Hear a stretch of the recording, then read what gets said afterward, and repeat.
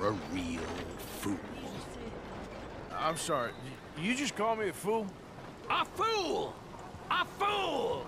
A fool! Come here.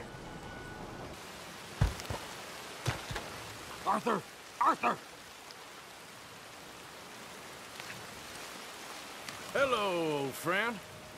Had a good time, did you? you going to get me out of here? I ain't decided yet. Real funny. Oh, I ain't joking, cowpoke. I heard so much bluster out of your mouth these last six months. And now, I got an opportunity to watch you be silenced.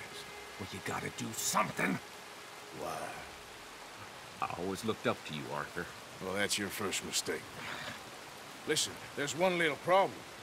There's only one of me, and there's a whole town full of people wanting to see you swing.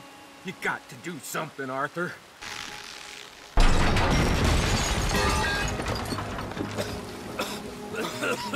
Let's get out of here, come on. What the hell are you doing? He wasn't O'Driscoll.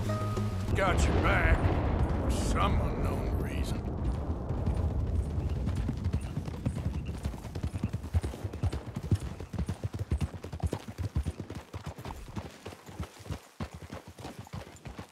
I think we finally lost him. Well, I hope so. I'm giving you a holster. My way of saying thank you. And thank you.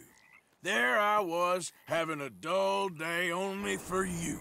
To liven it up by letting me help you shoot up half a town. You're a funny fella, Arthur. Real funny.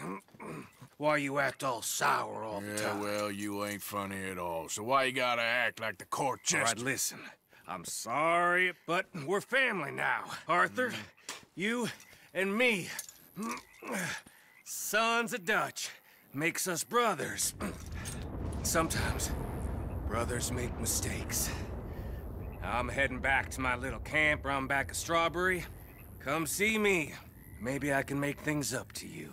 So you ain't heading back to Dutch? No, I've been a bad boy, Arthur. I ain't seeing Dutch till I can bring him a peace offering. Bye now. Yeah.